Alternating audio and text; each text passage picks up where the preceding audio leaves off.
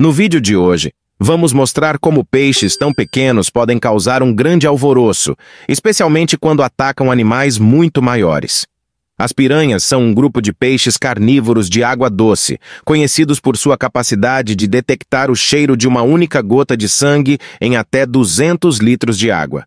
Essas criaturas também são sensíveis às vibrações geradas por movimentos de animais feridos em seu habitat aquático, o que as ajuda a localizar suas presas. Elas são predadores que se alimentam principalmente de outros peixes, mas não hesitam em atacar aves feridas, jovens sucuris e até mesmo carcaças de animais. Às vezes, as piranhas se aproximam de suas presas gradualmente, esperando que elas se acostumem com sua presença antes de atacar. No entanto, ao contrário do que vemos em filmes, elas não costumam saltar das águas para morder pessoas em praias ou piscinas. Os dentes das piranhas se assemelham a